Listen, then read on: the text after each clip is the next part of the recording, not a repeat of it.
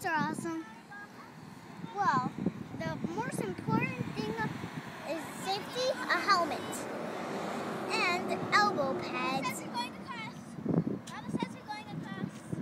And then he walked up to our parents.